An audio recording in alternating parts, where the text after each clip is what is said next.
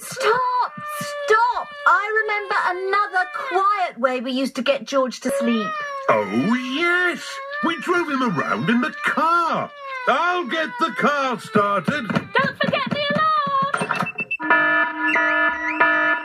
Daddy Pig has set off the noisy house alarm. The noisy house has woken everyone up.